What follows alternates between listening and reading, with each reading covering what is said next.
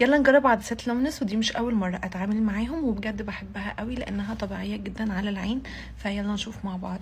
هجرب معاكم الاتنين دول crystal وال green. ده اللون الكريستال يا جماعة بجد خطيرة لونها حلو قوي مش حاسة إن أنا حاطه حاجة خفيفة على العين جدا بصوا. ده مش مصدقة إنها جامدة كده تحفة. كمان حلوة قوي مناسبة قوي لوكات ال make up والتصوير فظيعة يا جماعة. ودلوقتي هفتح معاكم ال green اللي أنا بعشقها. ودي ال green يا جماعة هم كاتبين كل تفاصيل العدسة هنا.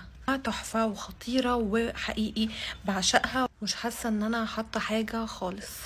حلوة خفيفة على العين تنفع جدا في لوكات ال make up في التصوير معاكي واضحة وحلوة جدا من غير ما تجرح عينيكي.